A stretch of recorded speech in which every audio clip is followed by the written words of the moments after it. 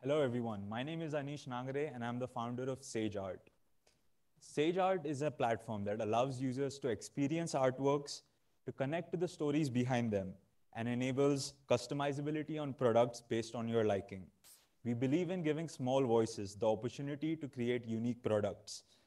We believe in giving them a space to uh, grow, their uh, grow their fan base, cater to the design needs of art enthusiasts, influencers, and companies.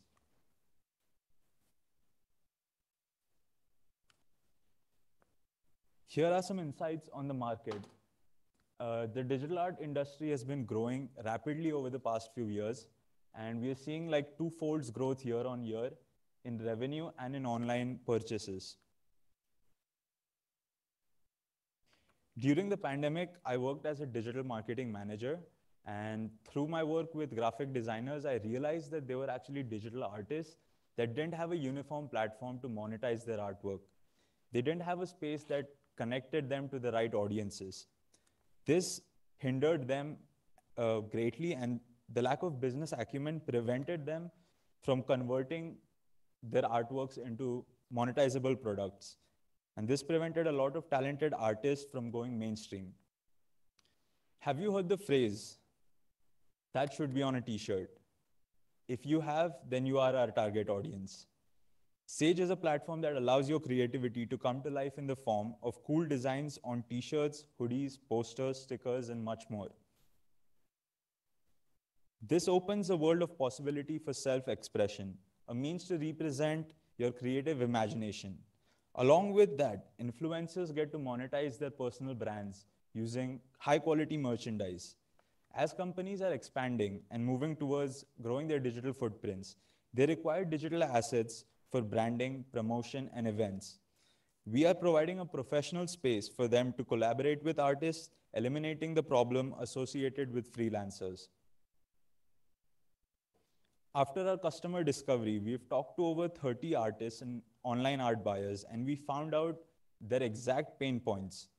We were able to identify that there was a need for a recommendation model, just like how YouTube recommends videos, Spotify recommends music, Sage recommends art based on your liking. There is a demand, there was also a demand for customization amongst buyers because they wanted to buy something really personal. And to make it unique, we realized that machine learning can help make these way cheaper customizations right on the platform. And we are powering all of our machine learning through the data that is coming through from the users on our platform. Let's get to the revenue. Uh, we charge a 40% markup on manufacturing, 20% is for Sage, and 20% is for the artist. So a t-shirt like this could be manufactured for $22, and we can sell for about 40 bucks.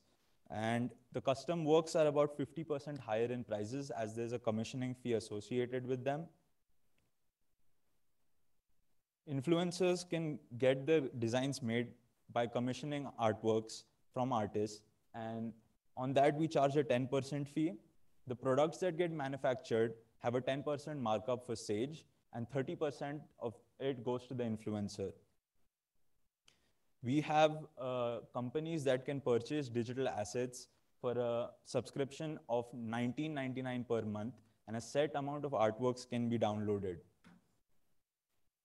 We are also offering premium artist uh, plans for artists to get data analytics uh, on what are the trends, themes, and what artworks to create, when to post them, and how to get to the right audiences. The progress we've made through the accelerator program, we've got vendors who are ready to manufacture high quality products for us. We have an MVP website that we're currently using to understand customer requirements in design. And we're also onboarding multiple artists through our social media promotions. We have uh, gotten a bunch of inquiries from Penn State clubs for their design requirements as they need t-shirts and hoodies each year. And we are also launching our e-commerce platform on April 28th this year, and we're excited to get you all on board. We're launching in India and the US, and you can now submit your designs by scanning this QR code, and we can get back to you with a code. And this is the team making Sage possible. And we hope to bring Sage to you as soon as possible. Thank you.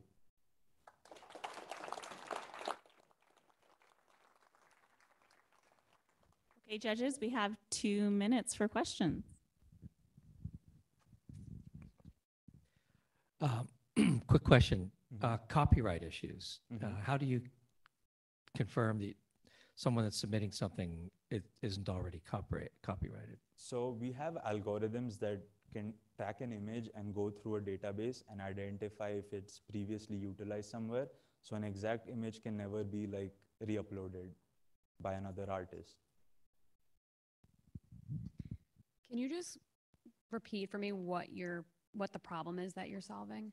So we are solving design as a problem for influencers, for uh, individual users. Like if you had an idea for a T-shirt and you saw something similar on H&M's website, you can't tell H&M to really do something for you as a change on their design, and that's what we're solving. And for companies, like they need T-shirts, uh, branding materials, uh, corporate gifting, and all of these are basically design works that they get done through freelancers or design agencies, but only large scale companies are able to afford such big designs done for events and stuff. So we are catering to the small and mid scale uh, companies and influencers. Do you envision the artists being full-time employees or are the artists people who pop into the site or app um, to, to get cash when needed? Uh, it's the second uh, that you said, like they would come up based on how they feel about it, but we have like uh, a tier system through which artists can really uh, expand into a full-time job kind of thing where if you do become a tier one artist, then you get higher margins, you get uh, to upload much more artworks. Like we have a limit on new artists. We've done this so that we can promote quality artists, but also not stop new artists from coming in. Thank you. So how many subscribers would you say you need to reach a break-even point?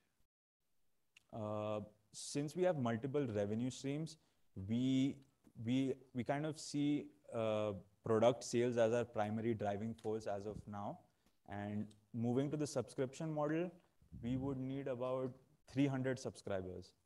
And how long do you think that you can sustain that with below 300? How, Uh, how fast do you think you can get to that? Uh, so right now, the MVP that we are launching is actually without that model. We are directly doing the product sales model and the e-commerce side of the platform. And from then, from that point, we can put in more money and then get those ROIs through subscriptions. Thank you. All right, great job. Thank you, Anish. Thank you. And these are some of the T-shirts that we have, uh, some mock-ups that we created. If anybody is interested in buying these, please let me know. good, good. All right. So next up we have Group It. Um, still the name? Okay. Next up we have Group It, and again, uh, these teams this semester. Go ahead and get your stuff set up.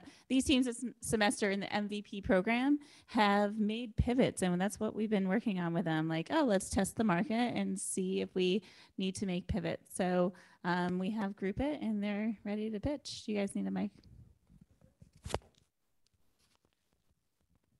What dis- makes us different from other Penn State services is our That was supposed to be muted. We ready? All good? All right. Hello, my name is Matt Christensen, and I'm the founder of Group It. My name is Mason. My name is Tamora. And I'm Josh. And I'm Jess.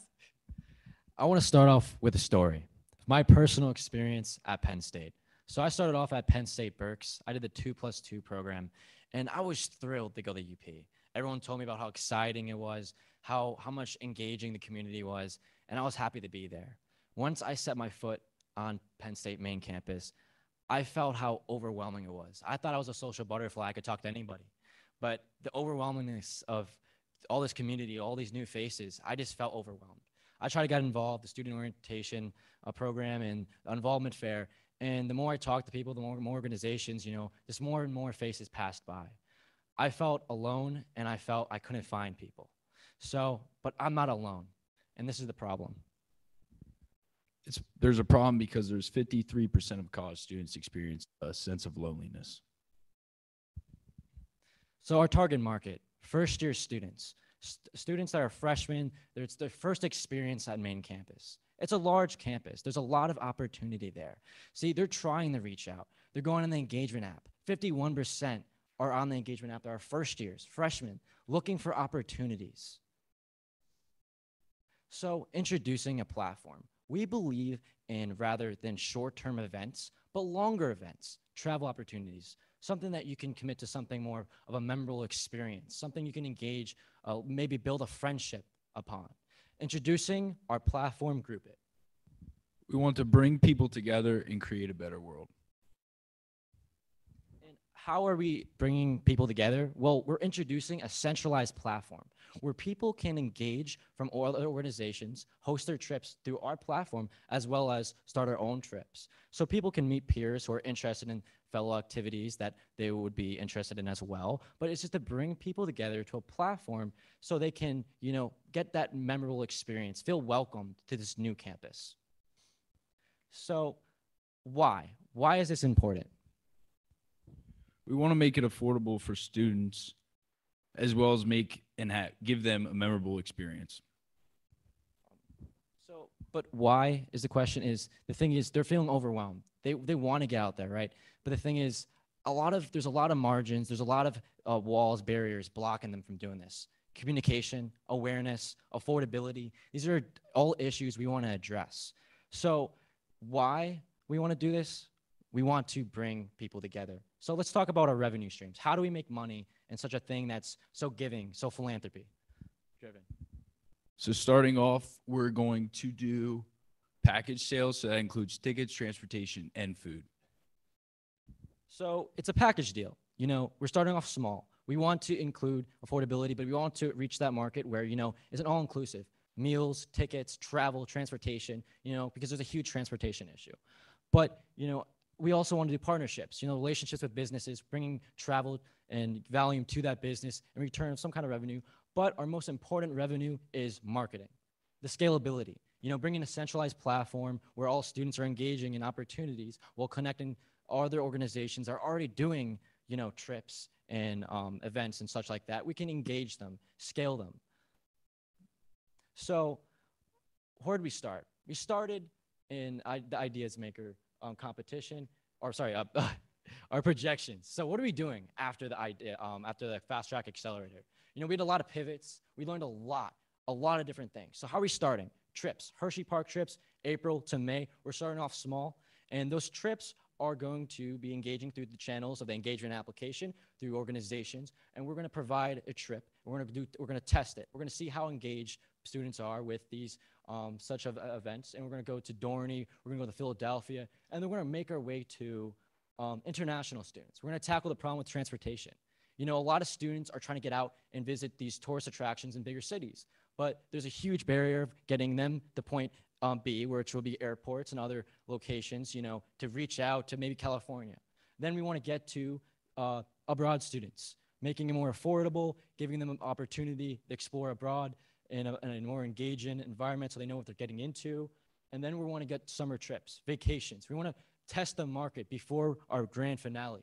You know, want to make sure we can pr- provide affordable, but also an engaging opportunity to um, line up for when we're ready to, for the uh, sweet spot of three to four months before spring break. But thank you for your time. Thank you for listening.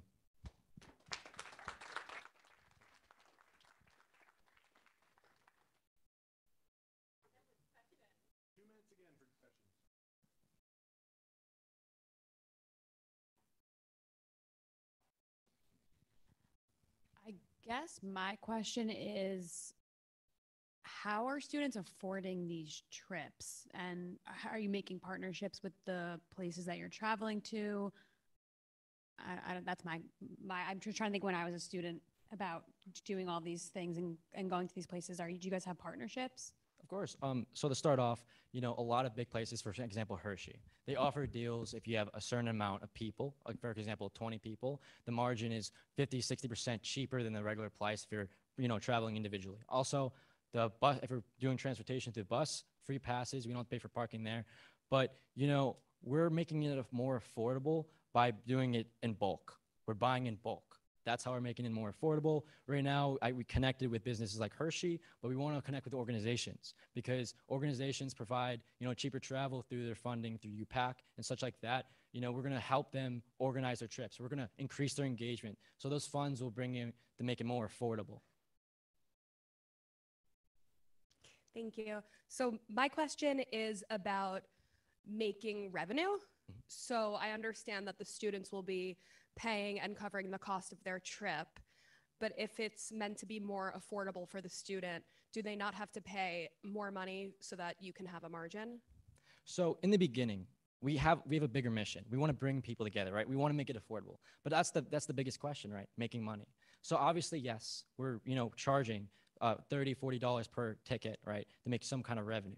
But our end goal is to get enough users onto our platform, engaging in a centralized platform we can utilize the biggest industry out there, marketing.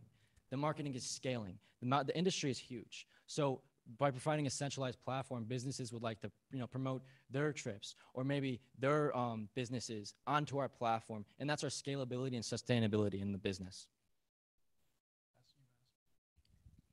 So B2B mainly, yeah? Yes. Okay.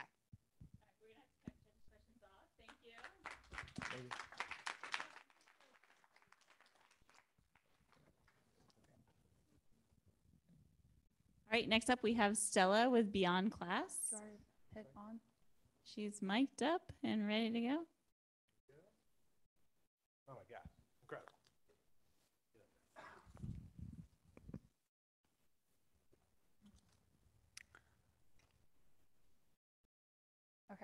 Okay, I start? Okay. Be the greater fool. A greater fool is someone who is a perfect blend of self-delusion and ego thinking that you can succeed but what others have failed. Hello, my name is Stella, and I'm the founder of Beyond Class. During the pandemic, I was laid off from my internship. Luckily, I found this website hosting all the resources for students to succeed, including the internships, case competitions, and research opportunities in Korea. Luckily, using my, using my background of international politics, I was able, um, I competed in the competition hosted by the Ministry of Foreign Affairs, and using my background of international politics major, I was able to place the third place and with an award and $500 and a great experience to add on my resume. So I wanted this success story for all students, regardless of their social and economic backgrounds. I realized that a lot of my US friends were facing the similar problems, that where resources were abundant, but the information was scattered. So Beyond Class brought this concept to the US education market as a solution. We solved the information divide among college students and educational inequality, starting from Penn State. Penn State is a great university with 12 academic colleges and 76,000 students. So they provide a lot of information, including um, and resources helping students to succeed, but how efficient and effective are they getting to us? There's no channel hosting all the school events, helping students to find the right teammates for the, uh, for the competitions to compete, or alerting students with the deadlines of the application or scholarships. Through our customer discovery, among 126 students, 83% have answered they find they face the uh, same problem. Not, not finding the right, um, not knowing where to find the information of the events, um, not, not being eligible for the events or finding the right teammates, and missing the deadlines of the application. So Beyond Class, being your personal companion to your educational journey, we built an edutech platform that aggregates and recommends your resources aligned with your interests and your profiles.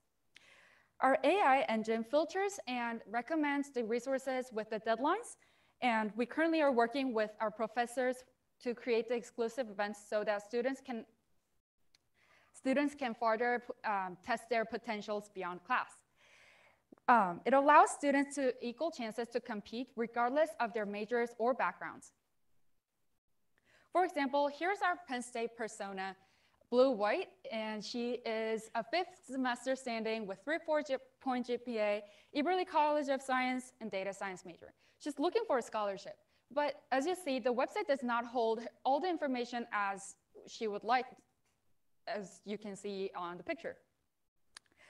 So, um, oh my God. Understanding the needs and the wants of our users, we now are on a mission to empower each student's success. Unlike other social or engagement app, we leverage AI to match the students' profiles to the events that they would have the most impact on. Now, as you see, Blue White already have the tailored events that match with her profiles, and she now doesn't have to go through. It will save her time and be matched with the events that she would have most impact on putting her in her resume and on her educational journey.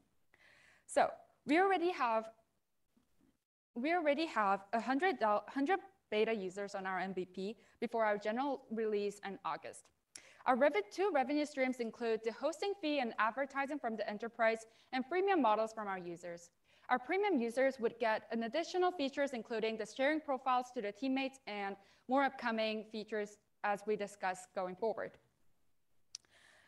Witnessing its successful market, um, witnessing its, witnessing its successful business model being uh, business business model being successful in Korea, understanding the U.S. market, we have no doubt that our that this product will be successful in the United States. Since 2022, we have been part of the two accelerator programs, including the Idea Test Lab and Fast Track Accelerating Pro Accelerator Program.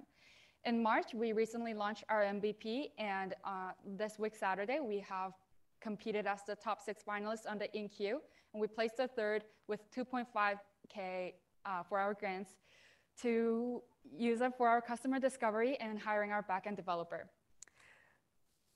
Oh.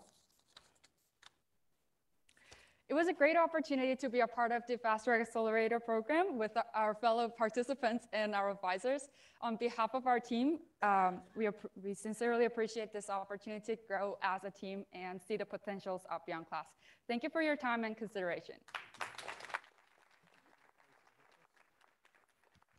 Judges, you have two minutes for questions.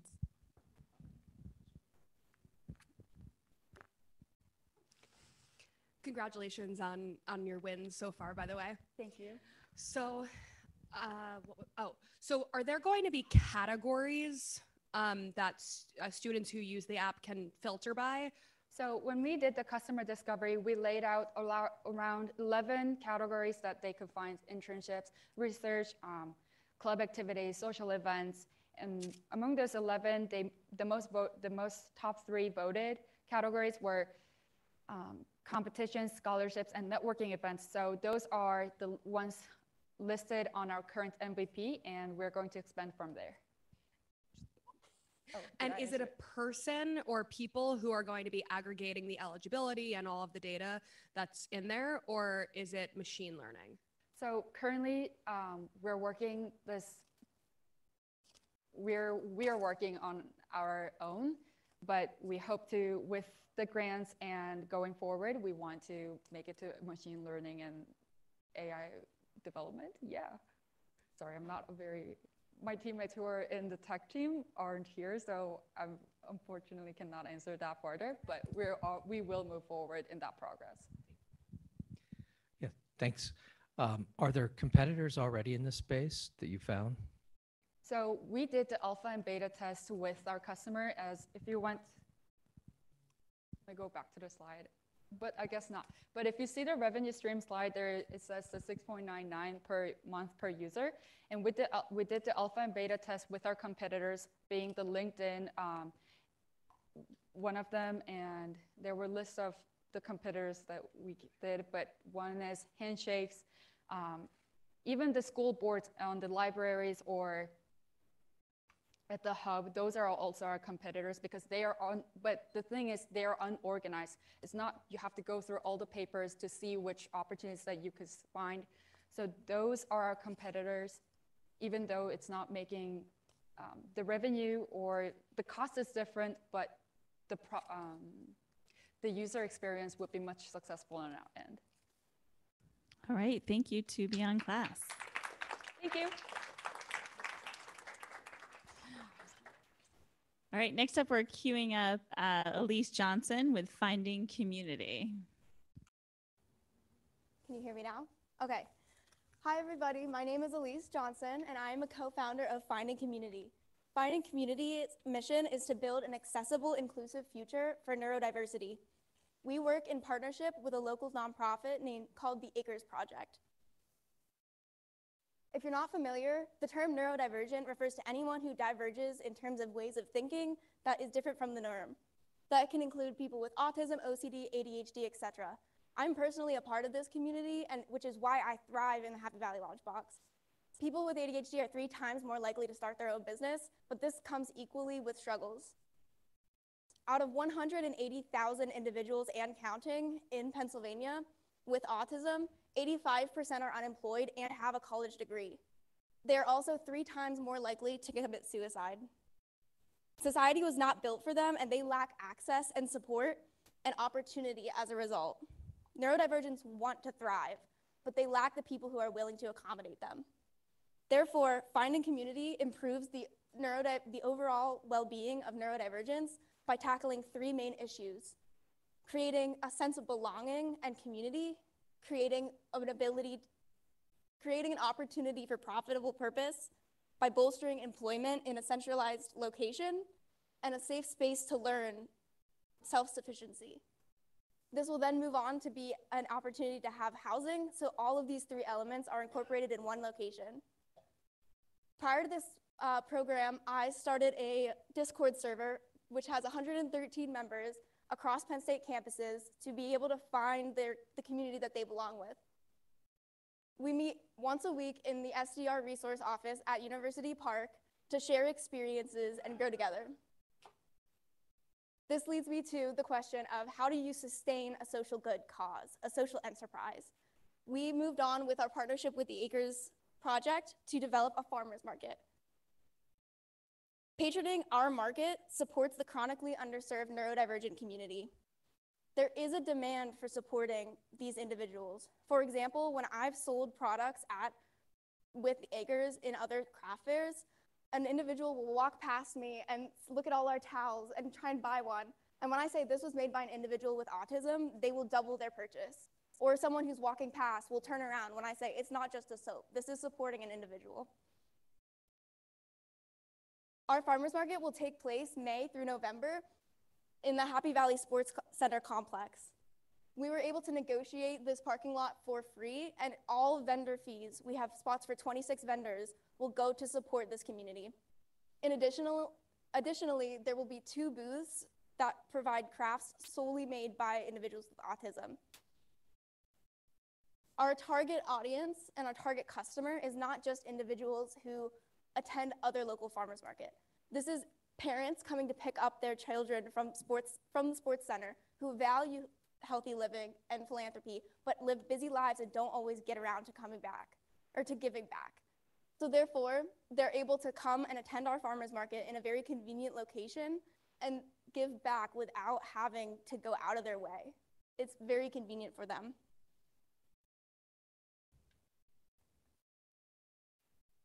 Right down here to the bottom right, that is where the Acres Project is located. So all of this is in one centralized location. In the future, we'll be able to have a housing complex there where individuals can both live, work, and grow in one centralized location. So we've created the community, we're testing the profitability, and next, once this is sustainable, we will be able to move on to the NEST project and create a housing community for these individuals. This model can be scaled to not just the rest of the neurodivergent community outside of Centre County, but also to other underserved populations in the community, such as veterans. It can be replicated, and finding community is more than willing to help these ventures success, succeed. So what I ask of everybody here is to please find me in my basket and get a brochure to learn a little bit more, get some buttons, and come and visit us once we're able to start up in May. We have an interest form on our brochure, so please spread the word and come and support our community.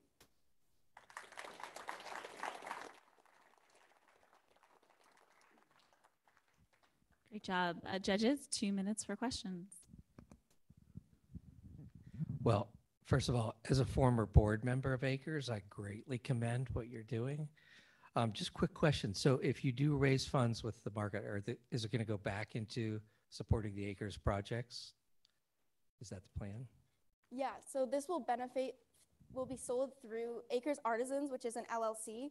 They'll have booths. The vendor fees go back into the Acres project, and then they commission our community and support with our workforce expenses.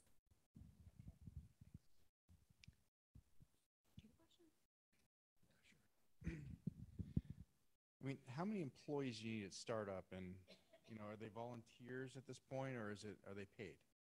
As of now, since I started the Finding Community and it resonated with the Acres mission, they commissioned me for the work that and the time that I put into it.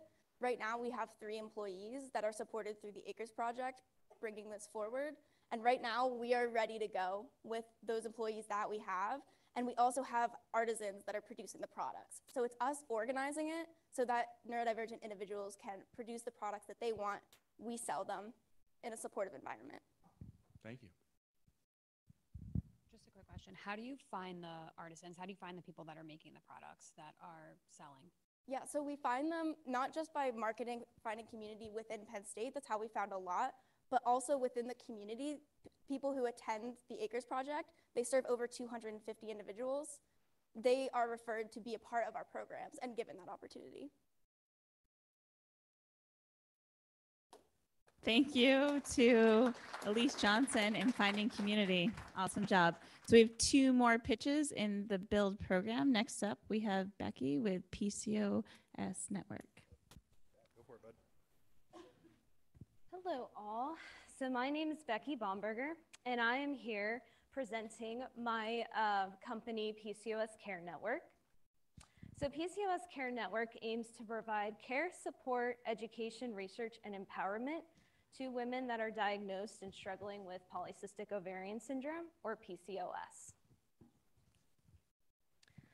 So many of you probably aren't aware or know of PCOS. Um, unfortunately, one in 10 women in the US are diagnosed with PCOS. There is no cure, and unfortunately, there's no perfect treatment. Um, treatments currently only manage the symptoms of PCOS and do not treat the condition itself. Uh, there's a pretty big lack of knowledge about PCOS. Uh, as a matter of fact, it's considered a syndrome because we don't know the underlying disease. And there's very limited research and funding in PCOS. Unfortunately, uh, PCOS gets less than 0.1% of federal funding. So this is not a pretty slide, and it's not meant to be. Uh, this is what women with PCOS deal with every single day. Um, each woman has different symptoms in varying degrees, um, and some have more rather than others. Unfortunately, I am diagnosed with PCOS, so I uh, have to deal with some of these things. So, what are we doing and why? Um, unfortunately, women are very frustrated with their care. It takes about an average of seven doctors until they can find somebody that is knowledgeable about PCOS and that will be able to uh, treat them. Battling stigma. Uh, this is kind of a, a, big thing that is starting to change. Um, a lot of doctors had this idea that women were bringing on their PCOS, and that's not uh, that's absolutely not true. Um, unfortunately, uh, PCOS can be something that is genetic, possibly, um, as well as being environmental. These women are completely hopeless. There's no cure, uh, so they struggle with their symptoms every day. A lot of times, the treatments that are out there are actually worse than living with the daily symptoms. And they feel alone, which is crazy because one in 10 women are diagnosed at least with PCOS. So, currently, what our agenda is um, initially coming into the build program, I had these high hopes of having this telehealth platform, and I had no idea how to get there. so, luckily, we learned how to come up with our MVPs. So, what we're working on right now is um, doing webinars uh, virtual support groups, continuing education, and um, we are trying to build our brand. So currently, we are working to partner with some doctors that are doing research, and they're going to be putting on some webinars, um, as well as we'll be doing some virtual support groups, possibly local support groups, And um, we're hoping to also eventually do some continuing education for doctors to um, broaden and uh, educate. Um, the way we are funding this, which is probably a big question of, of how that's going to happen, um, is that we are getting sponsored by different pharmaceutical companies that may have drugs for PCOS treatment um, or some of the, to treat some of the symptoms. And we're also partnering with some uh, infertility companies that have either management um, devices, it could be technology, um, and other products that could possibly help PCOS. So our future plan is to eventually provide healthcare to women via telehealth. Um, so the idea would be that they'd be able to get onto a platform and meet with different specialized doctors. Uh, unfortunately, PCOS is linked to diabetes, heart disease, several different kinds of cancers. Um, and so we are hoping to have a bunch of different specialized doctors that are also very knowledgeable about PCOS and can work in a team setting to provide the best care and come up with the best uh, treatment plans for these women. And we're also hoping to um, be able to have a database of all these women with PCOS, and we're hoping that we're, we'll be able to take that and start making some correlations and possibly even help uh, these researchers that we are partnering with uh, to provide them that database. So I'd like to put all my references up here because I swear I didn't make this stuff up. and at this time, I'd like to thank you all for listening in on my little project here, and I'd like to take any questions. Thank you. And, um, you know, Becky is a good reminder that the Happy Valley LaunchBox also serves community and students, faculty, and staff. So you'll get to see a good mix of um, different types of entrepreneurs in the room. So Becky, awesome job. Judges, two questions or two minutes for questions.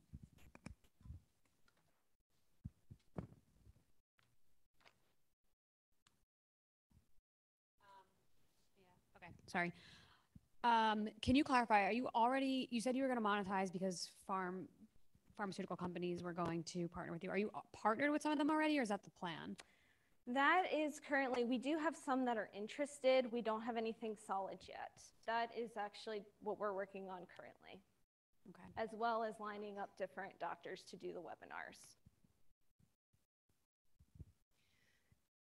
I guess my question when it comes to farm um, funding the business and um, fertility institutions is do you see any conflict of interest there um, with offering a holistic approach um, on on the app um, if that's let's say like what's evidence based or Mhm. up to date Yeah, so um, it's interesting because with PCOS, a lot of what is suggested is always be healthy, right?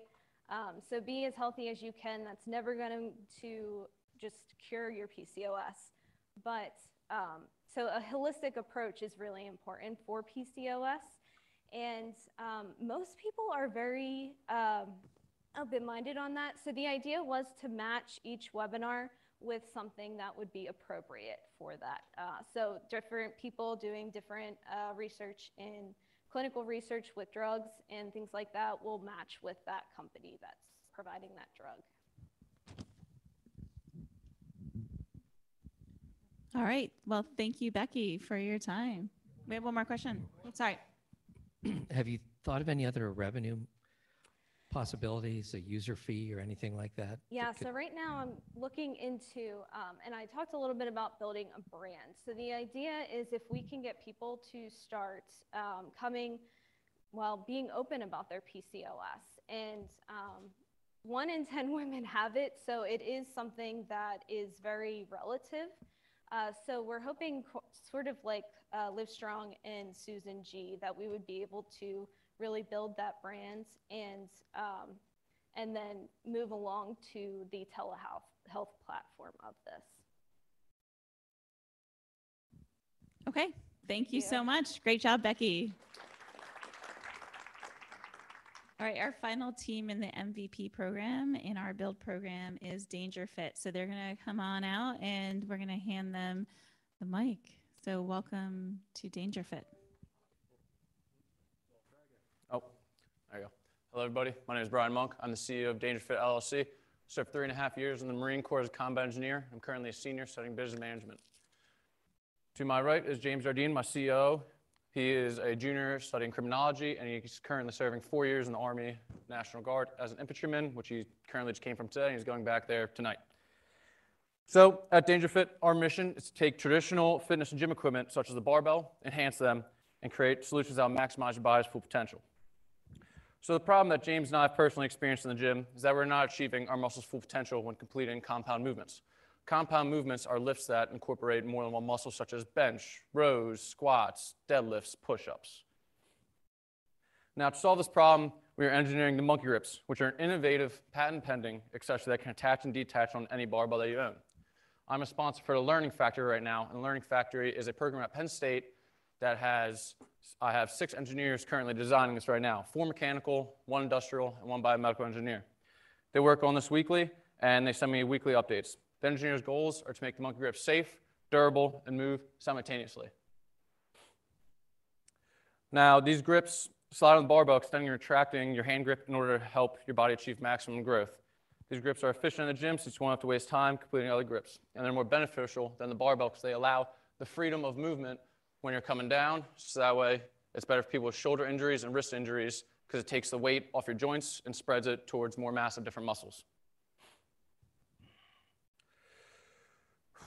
We're also designing a mesh bag to carry the monkey grips in to keep it nice compact in your home or at gym. So for people who carry gym bags at home, put it right in the corner there. Stays nice compact. Uh, the monkey grips are estimated to have a retail cost of 80 to $100. We expect this to be a lot lower. This is just due to the Penn State equipment costs and materials right at this moment. So production costs are about $35 per unit to build. We expect that to also be lower once we find the right supplier. So in 2022, the market for the home gym equipment was 15.13 billion. And in 2023, it rose to 16.55 billion.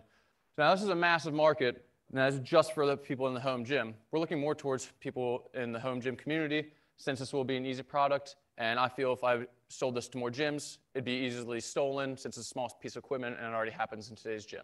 That's just the way the world works. So uh, here you can see we got the retail cost 80 and the production cost 35.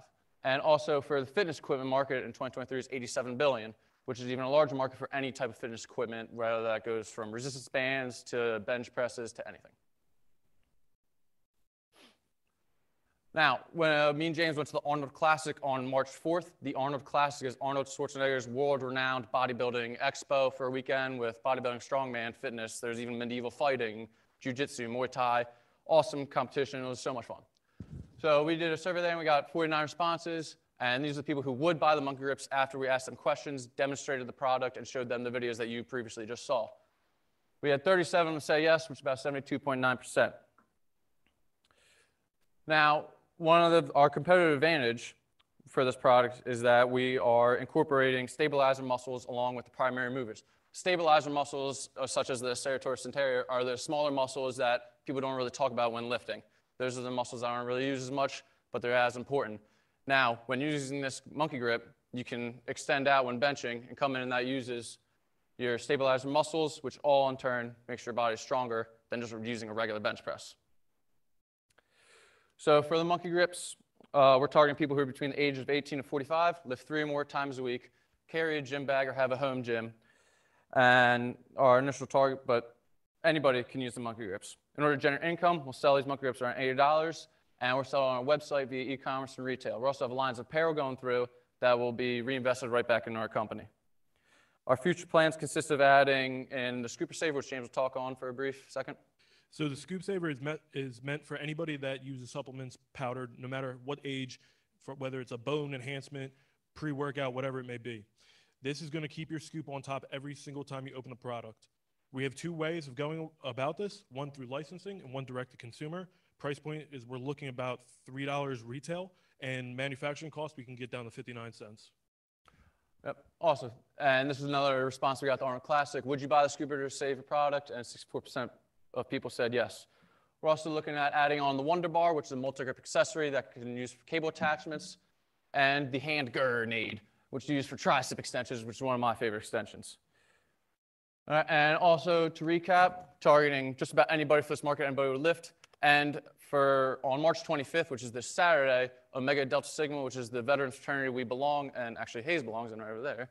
We are hosting the annual Murph, which is the Michael Murphy Challenge, which is for the Medal of Honor recipient, Lieutenant Michael Murphy, who is a Penn State alumni, and he died in Afghanistan. If you don't know who he is, is the movie Lone Survivor. That's what it's about. So if you're ever interested in that, let us know. And uh, yeah, thank you. Thank you very much.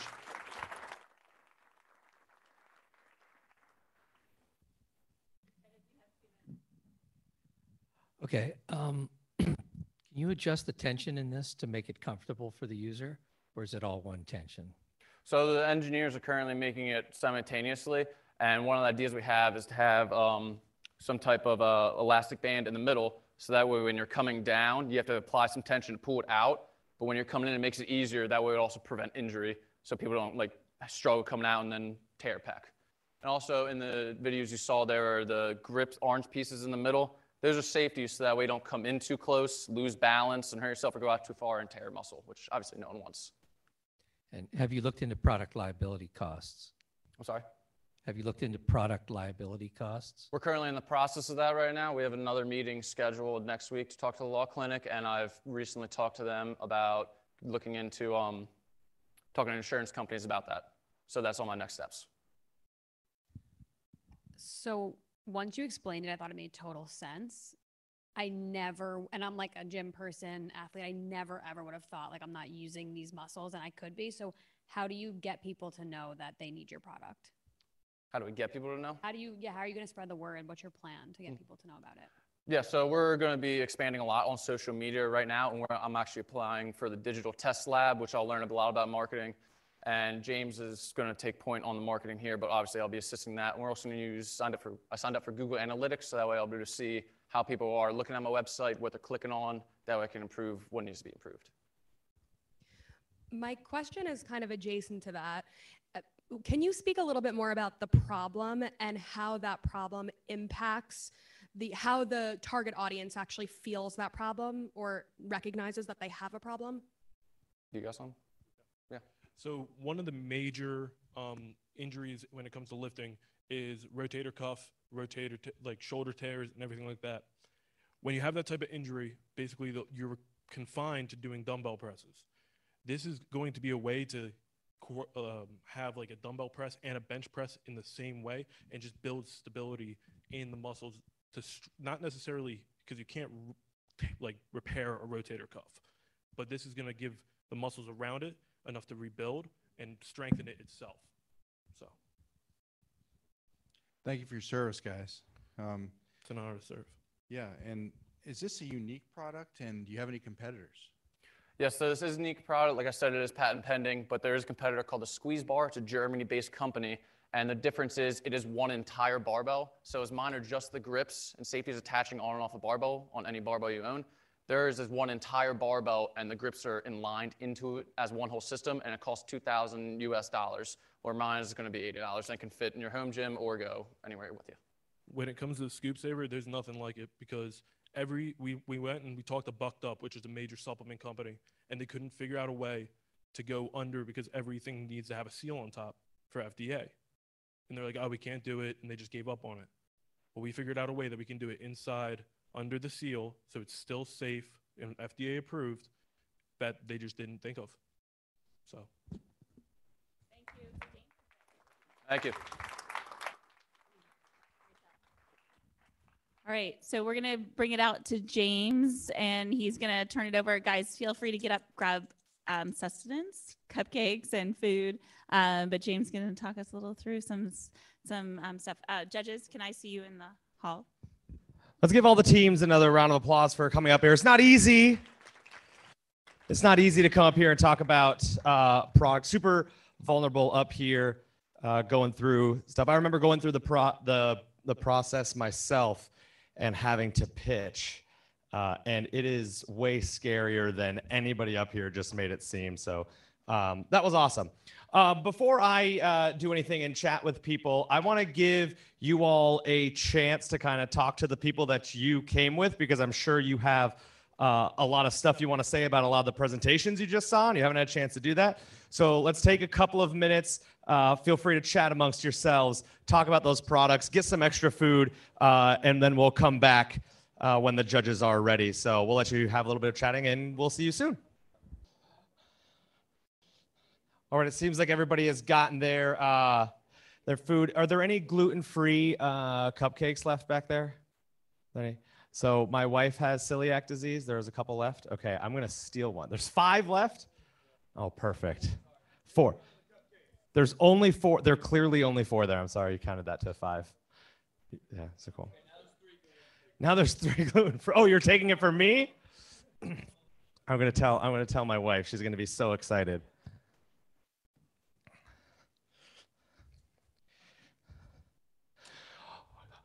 All right, so as we're waiting for um, the judges to get back, uh, I wanted to open up this uh, part of the uh, of the evening to uh, ask you all uh, if you have any questions at all about how a double major in math and economics who went for a PhD in economics uh, ended up opening up a 60 seat comedy club in State College, Pennsylvania, uh, as I know when I talk with people, uh, a lot of them have asked. So I wanted to see if anybody had any questions regarding that, uh, except for my two students who showed up for this. You guys have already heard all of my. Yes, Peter, what's your question?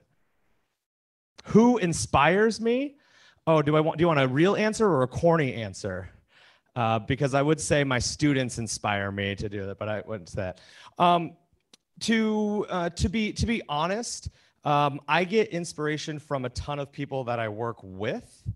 So uh, running the comedy club, doing all my other stuff is never uh, going to make me these like buco bucks. Uh, and in fact, sticking with the university as a full-time uh, professor would have definitely made the money come in more than what would be running a club. But sitting with co-founders and with other people who are experiencing joy from something that I have created or helped create uh, makes me continue to do it over and over again.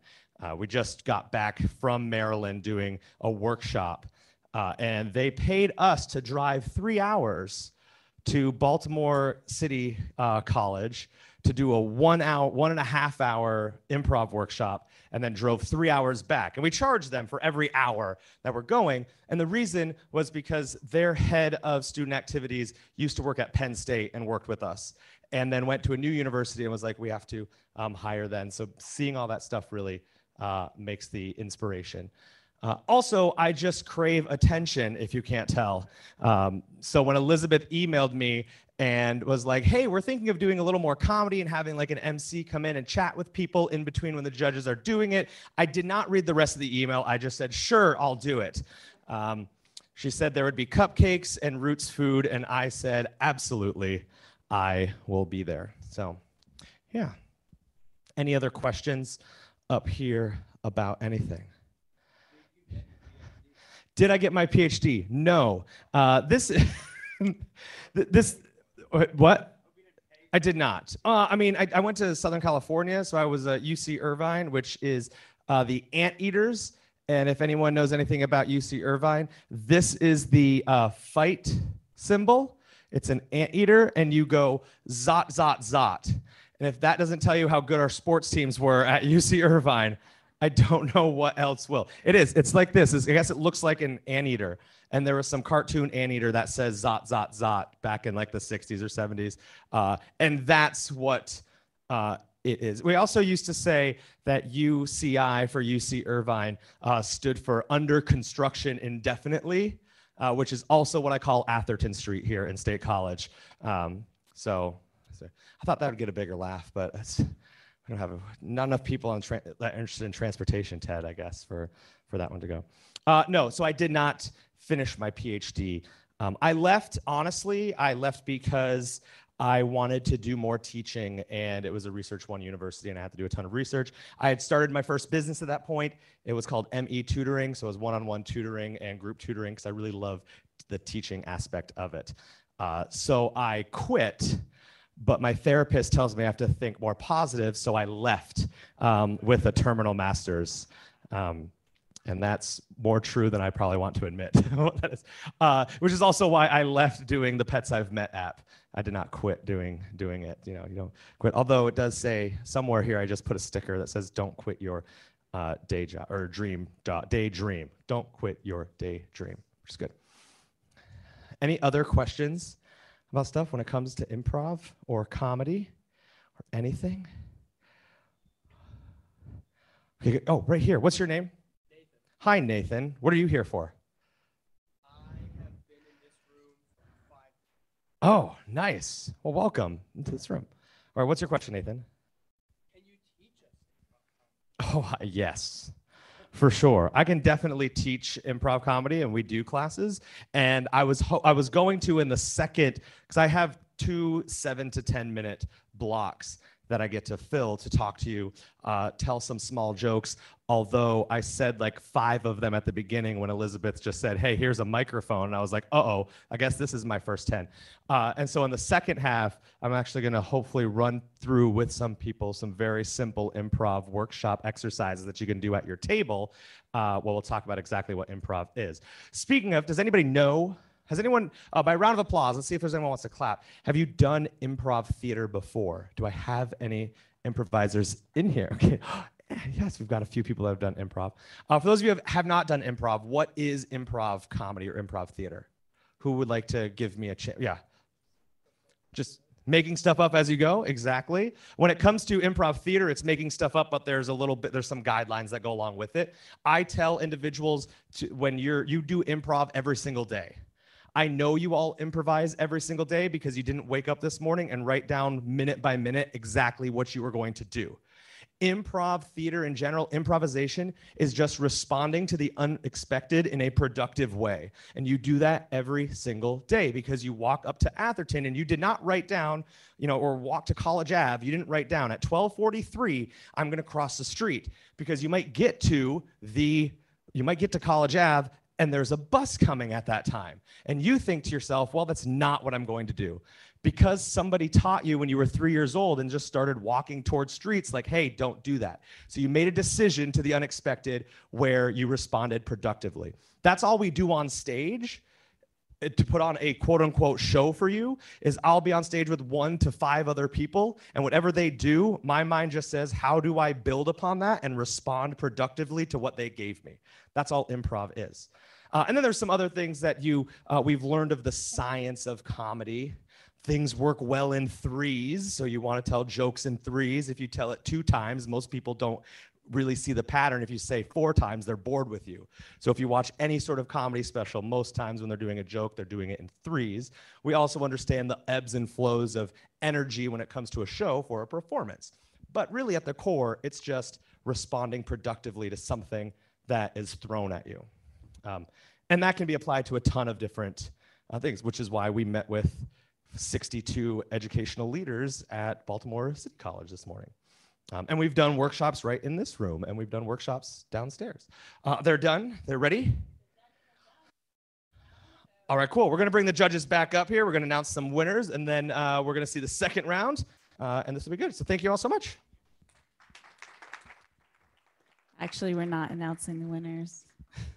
we're going to hold that you guys in suspense. We're going to do the second round, but we have um, the judges coming back, filtering in. Yeah, yeah, that's the only way that I keep everybody in the room. All right. Well, in a few minutes, we're going to get started. Um, we're missing one more judge. Hope you guys are enjoying the food. So we have food tonight by Roots Kitchen, our Webster's Gourmet Girl, and um, the cupcakes are by um, Dolce Vita. Yes. So all local companies. Um, Roots is kind of local, but um, we're really happy to have them as vendors tonight. So thank you guys. And we're going to turn it over to Kevin in just a moment. Um, but thank you to James for. Thank you, Elizabeth. Hey, everyone. There we go. Holy smokes. Wow. Uh, yeah, let's go. Uh, so I'm very excited to be kicking off the accelerator program. Uh, and so my name is Kevin Harris. I'll get into that a little bit later. But so right now, as you can see, uh, this is a beautiful creek picture, and that's me. No, it's not. I don't have that kind of hair. Um, th- that was improv. And so when I got out of the Army, uh, I spent a lot of time in northern Pennsylvania kayaking the Pennsylvania Grand Canyon. And so I, I love doing this. We did this almost every weekend, but I, every weekend I had the same problem. And so there were two things that I was frustrated with. And so on the Pennsylvania Grand Canyon, they have class one to two rapids, small to medium, as they say. Um, so not nothing crazy, nothing crazy, not whitewater, right? And so I'd go through these rapids, and water would come up over the boat and land in my lap, and it was just it was so so enjoyable. Um, and and you do this enough times, and your boat gets filled with water, it becomes unsafe. You got to pull over, you got to dump it out. Uh, and so that was the first problem I had. The second problem I had is when I would go through these rapids, right? I would have I would have things with me, fishing gear, water bottles, et cetera, et cetera. And and you'd had the only storage is back here. And so to get back here when your body isn't cooperating the most, it's pretty difficult. And so rapids are coming up. You're like, what do I do with my this stuff? Um, and, and what happens is it just rolls around. It just goes around, it goes way down there. Now I can't get it. And so those were the problems I was having. And so that's when I came up with what I'm calling the Wave Breaker and Wave Breaker Technologies. So Wave Breaker Technologies is an Army owned, a veteran owned and operated kayak accessory company. Our mission is to provide durable, dependable kayak accessories that increase the confidence and comfort of the user. And so, you know, I'm going to show you what's going on here. Can I can I not use the mic for this demonstration? Is that okay? Thank you. Okay. So, wave breaker, here it is.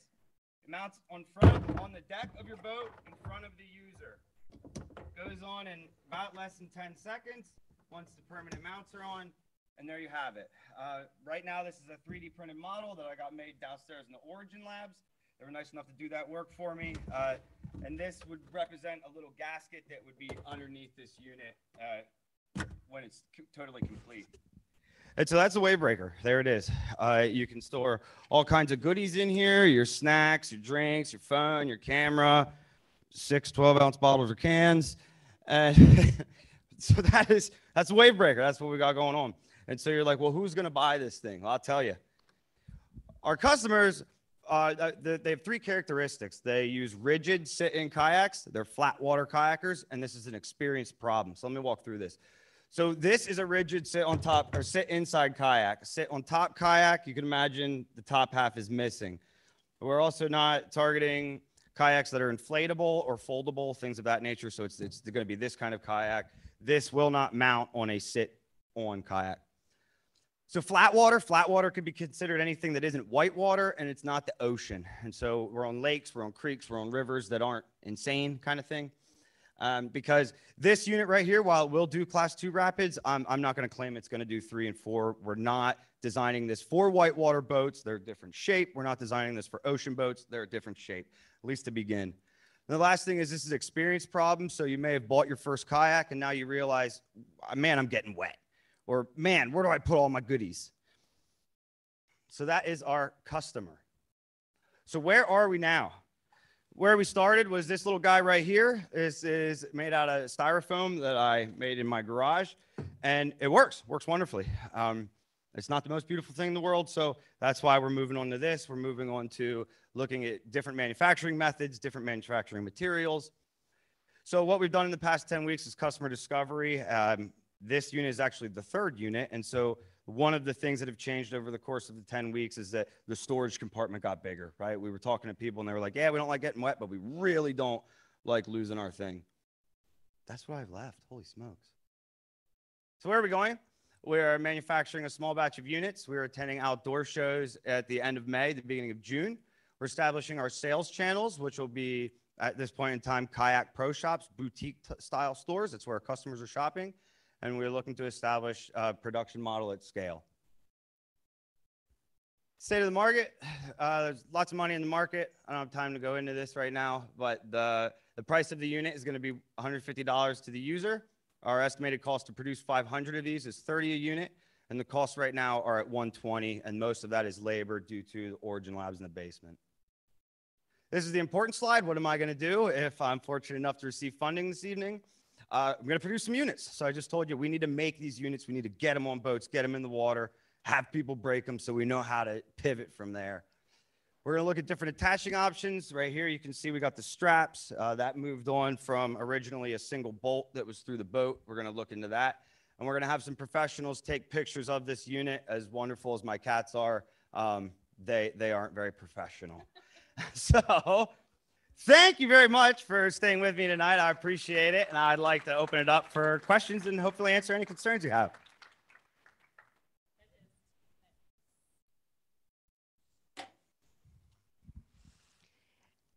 Why did you decide to go through pro shops Mhm. um, and retailers rather than direct to consumer? Okay, so this was discovered through talking with um, professionals in this sector, right?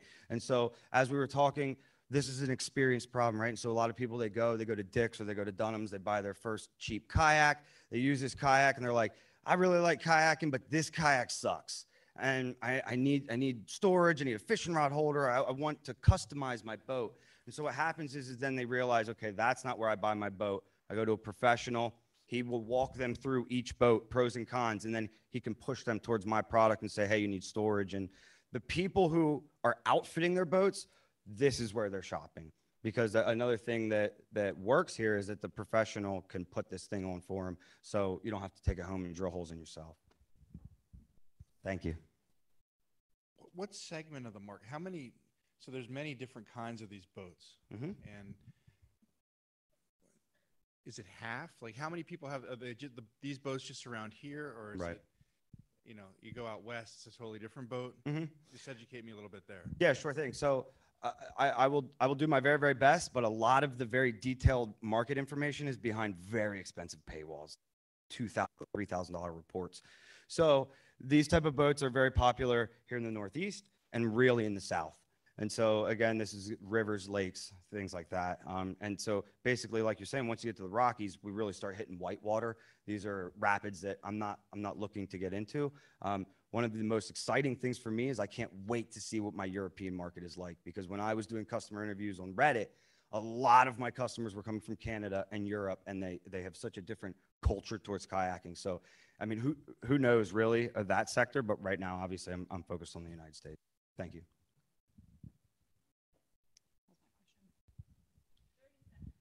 Yeah, just to follow up on Scott's question. Of so course. do you know how many boats are out there? So the number of boats, I don't know. So last year there was 500 million dollars worth of kayaks sold. I, I couldn't get deeper into those numbers without again the paywall. And I also know that there was 175 million dollars of kayak accessories sold, and that number is expected to balloon to over 250 million by 2028. Thank you, everybody.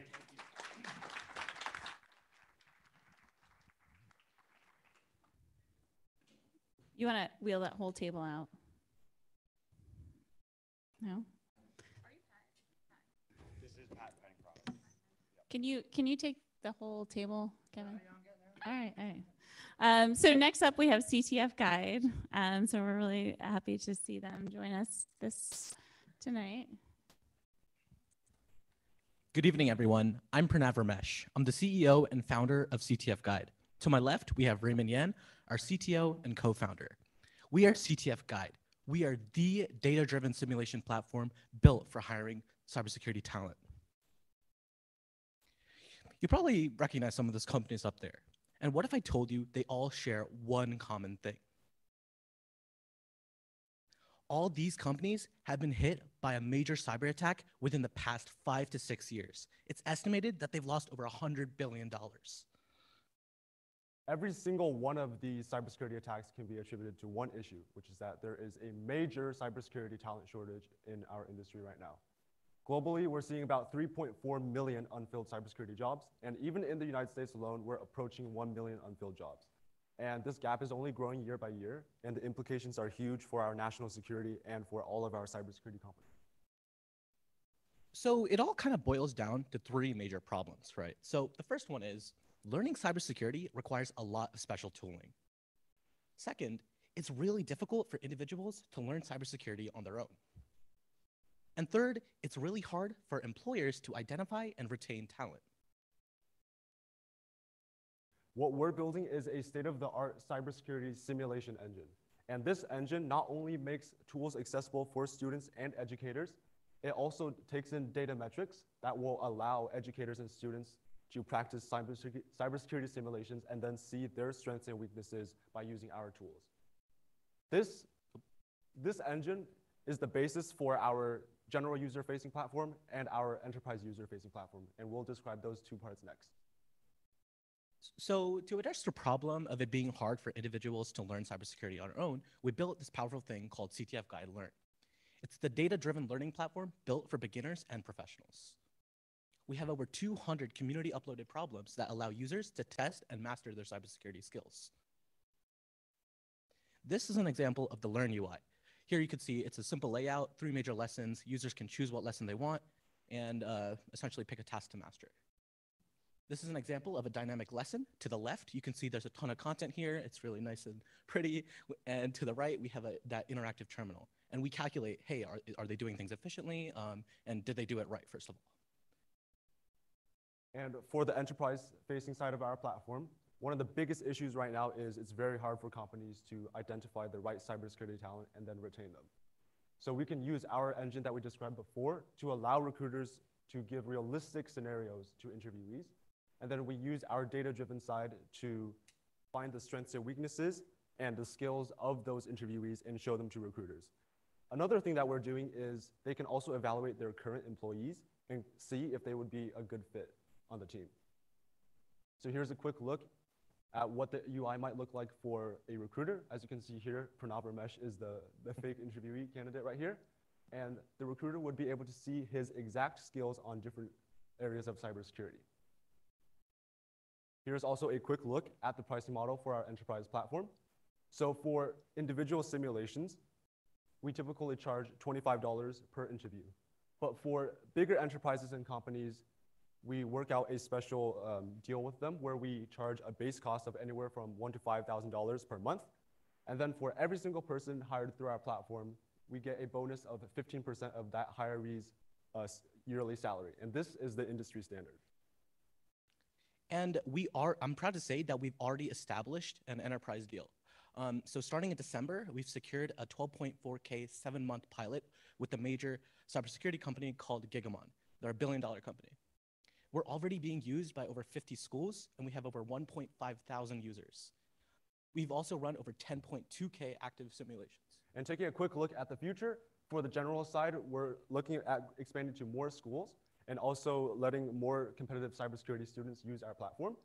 And then for the enterprise side, our main focus right now is to build a very solid product for Gigamon to use, which would open a lot of doors for us for other enterprise customers. And a quick look at some of the competition.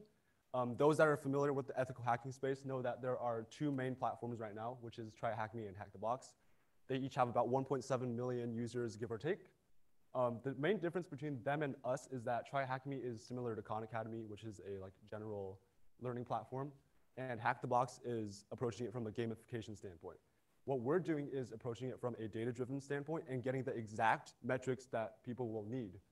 And the, another, dis, uh, another difference is that both of these companies are based in the UK and they cannot help the United States fill the talent gap.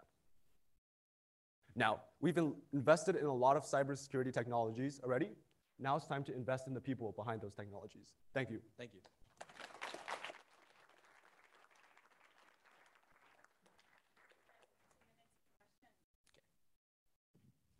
So I, I, th- I think I get it, but just to make sure, Hmm. are you guys? So you are a platform for people to learn cybersecurity, and in addition, you're also the LinkedIn of cybersecurity in terms of getting people jobs in it. And which is your main focus? So, I mean, I think ultimately the one that's bringing in the most money is the enterprise platform, right? But it's kind of in our core vision to also keep that learning platform alive because ultimately that's what kind of brings all the talent to our website in the first place, right? Because we're attracting the professionals as well because they want to upload content to the website. And then we also have, you know, the complete newbies, you know, people in high school who just want to start learning, learning cybersecurity. So who's who's uploading these like tutorials and the teachings, and Yeah. how are you getting that? So the core content, which was in that kind of that first learn slide, that's being curated by me, Raymond, and a few established cybersecurity people in the industry. There are practice challenges that are community uploaded. Um, general, of course, they are vetted through us. We verify that they're all legitimate and can be solved. Um, but it is kind of a crowdsourced thing, which really opens like we have all sorts of content. We have super beginner friendly content, and we have like really like tricky and like requires a lot of technical skill to solve content. My question is how do you compete with companies who are offering an outsourced product for cybersecurity? Why would enterprises want to work with a company like yours and source talent themselves rather than using an agency? Yeah, so um, I think one actually the, one of the main things is that we're U.S. based, right? So actually, even even even when you look at our competitors, it's all UK based. There's actually not really a big uh, cybersecurity like recruitment slash ed- education company in the United States, right? And especially when you think of like security, right? It's usually a matter of like it needs to be within the U.S. There's a lot of considerations that have to been have to be made, and because we're a U.S. based company, I feel like uh, people like to choose us, and also we really focus on the data, right? So we're able to provide insights that you can't just outsource. That you need like a lot of special algorithms that we we're working really hard on like making sure it's like gives you the right candidates. All right, we're good. We're good. Um, thank you. No, I want Sorry. Great job, CTF Guide. All right, we're going to turn it over to Pitch Stacks next. Um, so Pitch Stacks are going to get ready. They're going to get queued up. So again, uh, Pranav and his company, are, they're freshmen. Uh, they're fre- well, Pranav's a freshman, and next team is um, both out of the Smeal College of Business. So here we go. Thank you. All right. Hi, everybody. I'm Andrew. And I'm Dylan. And we're the co-founders of PitchStacks. So, student investors across the country in student managed investment funds spend hours upon hours building presentations like this, pitching different stock ideas. So, imagine they're saying, This is why you should buy Apple stock. People will spend hours creating this research. And so, When they put together this PowerPoint presentation, they present it in front of their fund, and 30 minutes later, it's never seen again.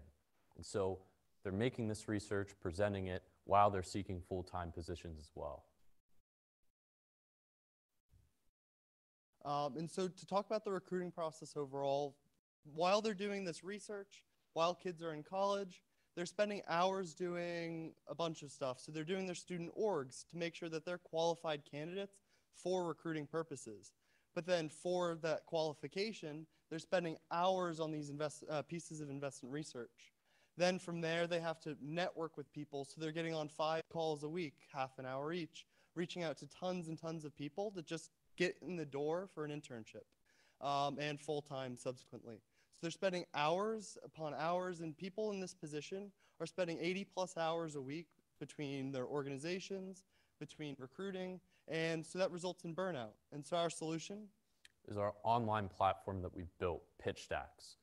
Um, comparative to some of the others in the market where you're contacting sales, spending a lot of money to actually get an account to view this investment research. Uh, with our platform, students are able to go to the website, which is live now, create an account, view other student research, and publish their own in about 30 seconds. And so this easy to use online platform is how we're better connecting these students. And so as to date, we've partnered with investment funds from these 12 uh, universities. Yeah, and so to talk about this, we've gotten on the phone, just talked with the fa- uh, the leaders of all these different organizations, talked with them about onboarding them onto the platform, bringing their students uh, to the table to not only just benefit their own futures, but to benefit their orgs, help everyone with the recruiting process overall. Um, and so just talking about our customers overall, our business model is sort of has three different components. So we have our online community, which students are online together building this platform where they're sharing their investment research with each other. Then there's the recruiting side where recruiters, investment firms will be on the platform where they can look at this research and sort of match a resume with a work product to sort of analyze who are the top candidates based on their quality of work, which is a main struggle we've heard from some recruiters at these firms. Um, and lastly, given that there's going to be a, vo- a large volume of this research on the platform, uh, we're going to offer a retail subscription where people can, uh, I guess, Uh, overall, learn more about uh, different companies to invest in and use this as uh, tips for their own investment research. Um, and so, as far as monetization, um, our plan is to keep this completely free for students. Uh, that way, students can get, just continue to build this community, post their research, get to know each other, um, improve their futures overall. Um, and where the uh, monetization efforts would occur are through the investment firms, through that recruiting process. Investment firms would pay a monthly subscription to have access to these candidates um, and to their data on the platform. Additionally, that retail subscription I mentioned, which we would also be unveiling, uh, would offer a subscription uh, service each month where people can pay for different investment ideas. Yeah, so to touch about sort of the progress where we're at, as Dylan mentioned, the two monetization uh, aspects through that retail subscription and then onboarding those firms for the recruiting process. Currently, we have this online community or online platform that's being uh, built. We have users joining each day, new pieces of research being uploaded. And so in the future, rolling out that subscription model as, long as, as well as onboarding the firms as well. And so just sort of to go over the basic use of funds, how we'll use the funds awarded tonight. A large aspect of this is actually focused on, you know, our product and development. Uh, most of the costs that have been, you know, that we've occurred have been in the back end hosting, actually building this product out. And so we'll also be using for marketing our team uh, to expand to new schools, add those firms um, as well. Um, so overall, PitchStacks is the first online community for these student investors not only benefit each other, but to benefit themselves for their recruiting and for their futures. Thank you, everyone. Happy to take questions.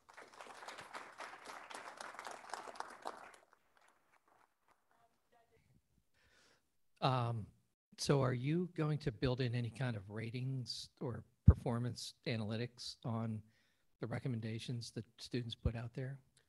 Yeah, and that's a great question. So for our retail subscription, those, you know, top so many uh, stock picks or research that's going to be sent directly to those people subscribing uh, is actually voted upon uh, students on the platform. So on our platform, we have uh, a ranking system. So if you're a user, you can upvote, downvote uh, those posts. And we'll be factoring additional KPIs in there as well. So we'll be able to see how many people viewed posts, liked them, I think time spent on posts as well.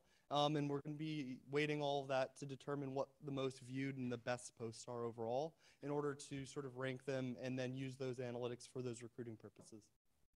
The group members you mentioned are mainly from universities.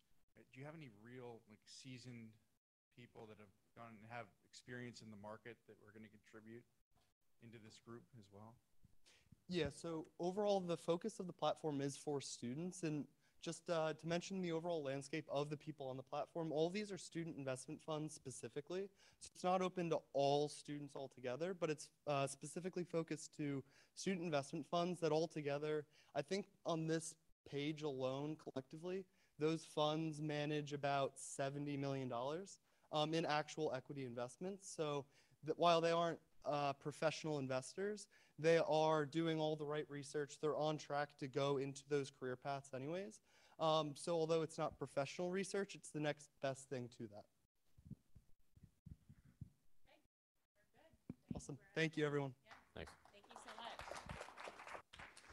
All right, we're down to our last two for the accelerator contest, and we'll getting closer to the winners. So next up, we have Diana with Alum Lodge, and she's one of our community members. We're really excited to have her join our program this year. So Diana, ready?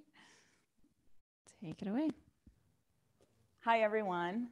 Thanks for hanging in with us tonight. Ever think about renting your home on Airbnb? Well, I'm Diana Nelson with Alum Lodge.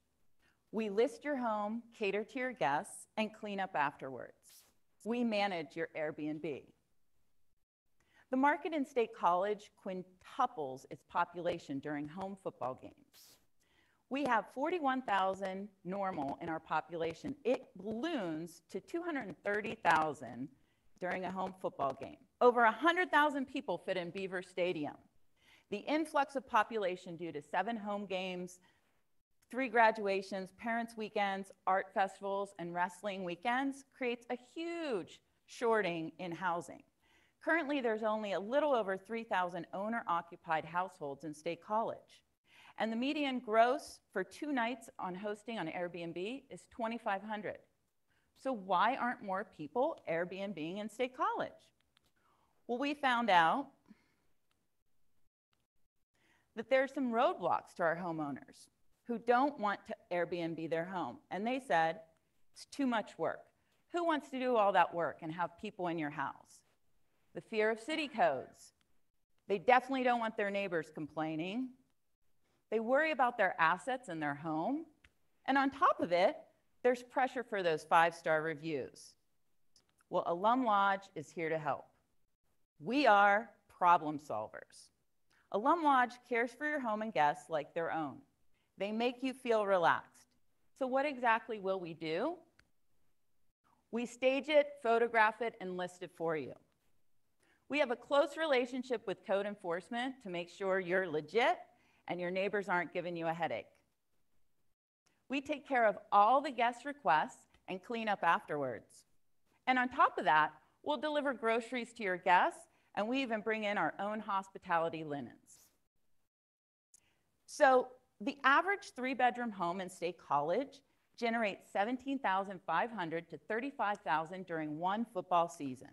So our streams of revenue at Alum Lodge will be 25% of that total Airbnb gross that our homeowners make. There is currently no competition in State College, Pennsylvania for property management and Airbnb. The local uh, competitor would be Blue Knob Ski Range, that's 64 miles from here, and they charge upwards of 40% for their gross rentals. We do something more than that. We have customer concierge. All the guest requests will be taken care of by Alum Lodge, and the guests will pay that service. And hospitality linens, these are options for our homeowners to bring in hospitality mat mattress protectors, linens, and pillows for all beds. That's a great concern for many house owners. So the timeline and fund allocation for Alum Lodge, in Q1, we're gonna finish up marketing to homeowners for graduation and arts festival for Airbnb bookings. In Q2, we're gonna invest in data analytics for dynamic pricing, linking events to the Airbnb rental prices so we can do projections for our customers and make sure they're renting their homes on the best weekends to make them the most money. And we're gonna have a huge summer block party to acquire homeowners for the football season. And then in Q3, we're going to market to 700,000 Penn State alumni, one of the most influential networks in the country. Marketing to homeowners for 2024 calendar as well. I want to thank you, and my name is Diana Nelson with Alum Lodge. And just remember, we list your home, we cater it, and we clean up afterwards. Thank you. All right, Diana Nelson with Alumni. Judges, you have two minutes for questions. Go, we're going to the real estate property manager first. so I, I, have experience with, with actually managing this as well. And uh, one of the, the hardest things is the cleaning. How, how many people do you have that so, are in your network that work for you? So right now we're just starting up. We got our first client this Sunday, so our charter client. I will be doing everything in the beginning as we scale. Right. Um, what we found is that the laundry, the amount of laundry that you have to have, and the the things that you run into that are unexpected are, you know, sometimes it's it's great. You have a great weekend, you have a great guest, but when you have the bad guests, and if you if you get a lot of properties, you're going to need employees, and it's it's challenging here to to fulfill the needs of the, each homeowner. Um, how how do you plan on scaling? Scott, can you mic yourself like here? Sorry about that. Um, we're going to scale by using alumni and the students. I'm going to partner with some of the students here and get them involved. Uh, I will have an intern and some other help. So. We're not going to scale too much. This is a service industry, so um, I work a full-time job in linens. I actually produce linens for a huge company, so I have a little bit of an advantage there. Um, so we'll just scale very gradually. Is, is each homeowner going to be purchasing all of that, or are you going to be purchasing no, it, including no. it? I bring that in. Bring that in. Yep, okay. I bring that in. So you are in between the person who wants to rent the Airbnb and the person who owns the home. Correct. What happens? How are you vetting the homeowners? What happens if these people put cameras in and they're spying on their guests? Who's liable? Well, Airbnb has uh, insurance and they have safeties in place. But as far as the added security, I'm going to be on site. A lot of the Airbnb people, they don't want to be home when they're Airbnb. They need a property manager. So my idea with sticking with the guests and having concierge services, being there for them, I'll be checking in and trying to vet them. I think eventually, as we go on, I would like to move them off of Airbnb, but that is a process. So right now it'll be a tack on service and eventually we'll scale to our own. So are you logged into the Airbnb of the homeowner and you are responding on their behalf? I would be doing that, yes, correct. We'll set up an account for them that I'll manage. All right, we're out of time. Thank you so much, judges. We're going to move on to our last pitch of the accelerator program. Thank you to Diana. Great job, Diana. All right, so next up we have soils and pigments. Good evening, everyone. My name is Eric Appledorn. I'm a PhD student and biology science researcher. Also, No, it's on. You just got to talk louder. all right. um, so yeah, I'm, I'm an artist as well, and uh, I'm a co-founder of Soils and Pigments. And Zoli will continue. My name is Soeli Rivera. I am also a PhD candidate in soil science, and we are the co-founders of Soils and Pigments, a family-owned business that has as a mission to inspire a lifelong love and relationship with soils and pigments through art paint. So we found there's a lack of trust in what are the contents, ingredients, and sources of pigments used in, in paints and art supplies. So we see this, for example, in the market, in the food market, uh, such as uh, people are more conscious about what are the ingredients in food, uh, where, uh, where does the food come from, etc. So we see this also in the art supply.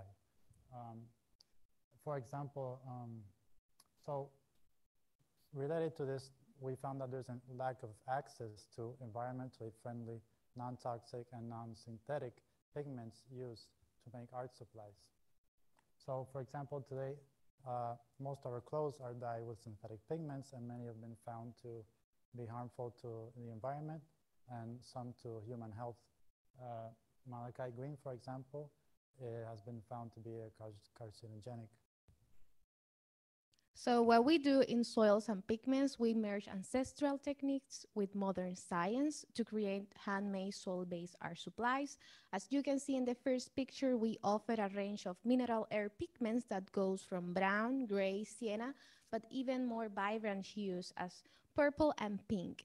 And we use the raw pigments to create chalks and crayons and also watercolors that we are passing. So uh, something unique about our brand is that we source the uh, pigments directly from the diverse soils of Puerto Rico, and also that we share information about the identity, characteristics, and the origins of each pigment. So uh, basically the process is to collect soil samples. That's slowly climbing a, a mountain to get some soil samples, and then we select the colors that we are looking for. We uh, process it essentially to obtain the finest particle sizes, which essentially are the pigments, and then we use those to create different products.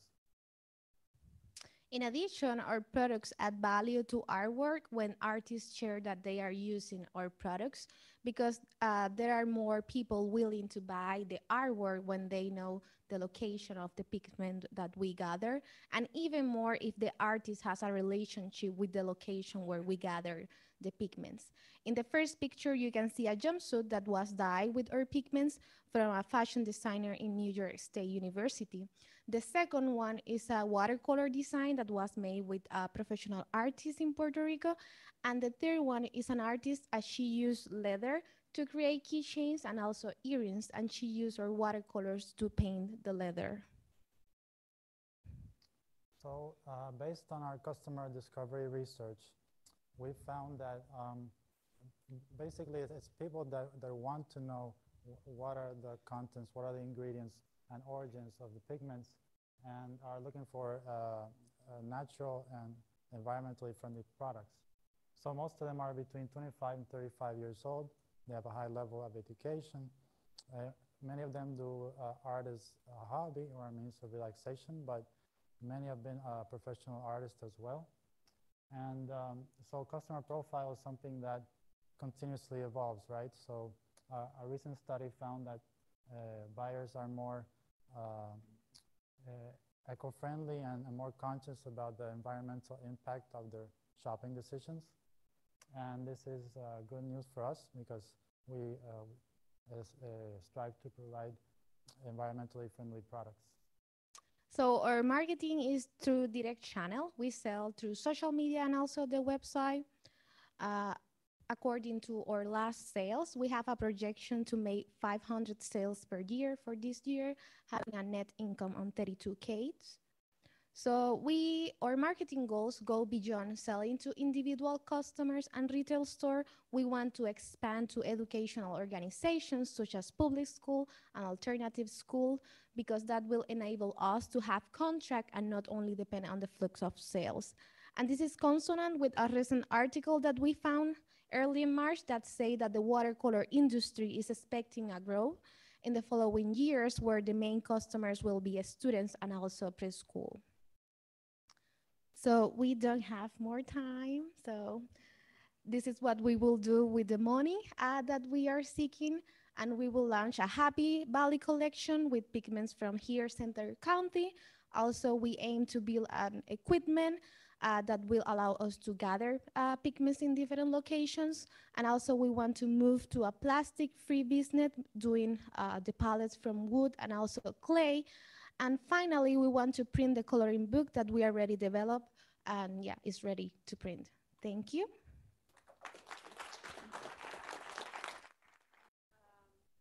I just want to know who your competitors are um, and how you compare and why people would choose you over them. So we have a graph that we didn't show here uh, because the time, but we have uh, commercial brands are our main competitors, but also there are some people that may also handmade uh, soil paints as we, but the uh, our advantage is that we always share the location where we gather the pigments, so we build this trust relationship with, with the customers. Uh, and commercial brands, they don't share where they took the pigments, and most of them are synthetics. Hi, I'm glad you added the chart on the potential customers, the market, because I think you had your customer profile defined way too narrowly. You know, I, I see this very popular for preschools, school, other schools. um, Yes, that customer profile was developed when we were working as a DBA, but now that we are an LLC, so we are targeting to have this broader uh, customer. Yes. Yeah. How many people does it take to have a successful market? How many people working on getting the materials? So currently our team is for ourselves and also our mothers in Puerto Rico because our pigments comes from Puerto Rico, so we cannot uh, bring soil to United States according to USDA regulation. So they how they know how to process the pigments, uh, so they send us the pigments. So so far we are just three ish. Yeah. long-winded as always. Um, but how, if you, you know how to do it in Puerto Rico, but the to, to source this elsewhere, there has to be a lot of research that goes into that and time and energy. And how would you go about doing that? In uh, So one of the question. One of our strengths is that I am a soil scientist. So before going to the field, like looking around what colors I can see, we do research using uh, scientist tools. Uh, so we can map and we know uh, the colors that are around and also not because you can see a soil that is brown, but in the depth layer is another color. So we, we recognize that before going to the field. So that maximize the efficiency of our field work.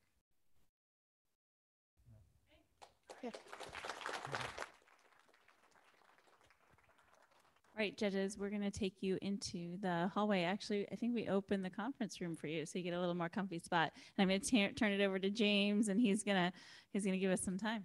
Yay! Let's give them all a round of applause again. Yes. Wonderful. I know we're we're over time a little bit, so I'm gonna I- I'm gonna do some fun stuff in here as we wait to find the winners. Uh, that was so great. That was so great. So thank you all for uh, being here. So I wanted to. Uh, are there is anyone here? Uh, because that last presentation reminded me of a joke that I do, so I'm going to uh, do it. Is anyone here by round of applause? Where are my uh, dog people at? And you have pet dogs by a round of applause. We have some dog people. That's good. Uh, what type of dog do you have? Oh, okay. Okay. Oh, how big is that dog? 25. Oh, small basset hound. I have two small dogs, uh, to about 25 to 35 pounds. Dakota's a puggle. Does anyone know what a puggle is? It's a pug and beagle mix, and they're super, super playful. Uh, she's eight years old. She still runs around. Uh, she'll jump on you. Uh, she'll she'll bite when she's playing, but she doesn't draw blood because she can't hold colored pencils. Um, Thank you. Hi, there we go. Trevor got it. Yeah, it's a blood pun. It's definitely a blood pun for sure. Uh, I have lots of blood puns for sure. I'm gonna uh, I'm gonna test a couple out. It'll be some A/B testing here. Um, so we'll do that. so dumb. I know. You don't like that one, Lee? You don't. You're boo. Well, I'll just do. I wrote. I wrote a comedy piece over the pandemic that the title was just called "Just Blood Puns." Um, yeah. It was read a ton of times. It really was for so yeah, no, they were they were pretty pretty dumb. Uh, but the reason why I started writing blood puns for uh, some comedy stuff because I used to uh, I used to work as a copy editor for the Red Cross. Uh, I would go through and do a bunch of their copy editing, uh, but I didn't have enough typos for them, so they. Uh,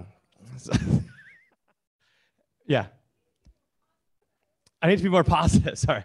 Uh, I had too many typos. Is that better? Which I thought was, is there, there'd be going well. Uh, so Nathan, right, Nate, Nathan? Nathan asked if we could learn, uh, if I could teach people to do a little bit of improv. Uh, and so, what I wanted to spend a little bit of time here doing is for those of you who want to participate with the person near you, you can pair up with somebody, and we're going to do a very, very basic improv exercise. You're going to build a story together. So you are going to build a story together with the person next to or across from you. Nobody else is going to hear this story unless you unless you end up sharing it out to us. So you don't have to worry about that. I won't force anybody to share it.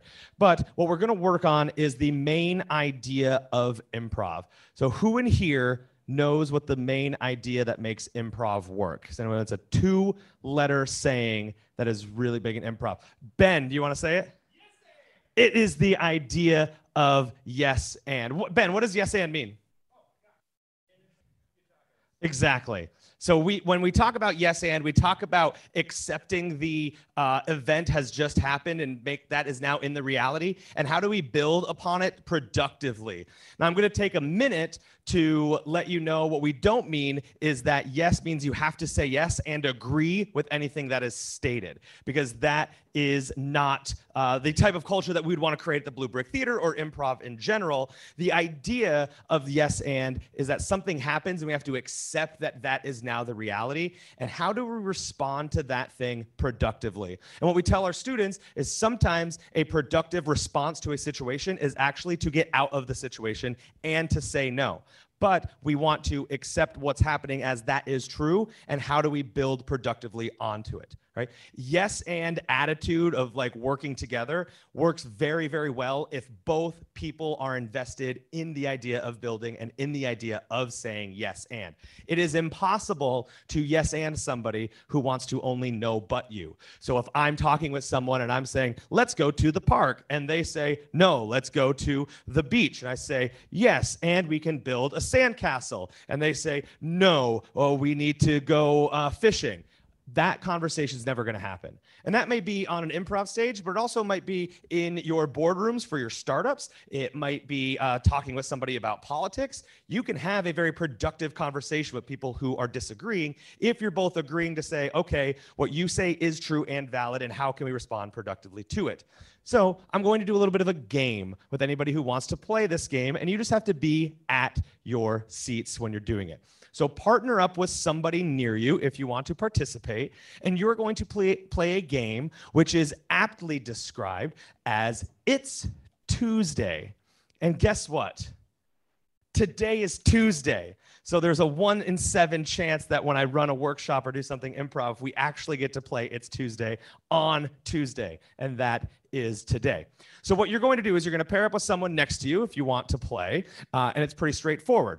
Uh, one person you'll decide, whoever's player A, is going to start telling a story by saying the words "It's Tuesday."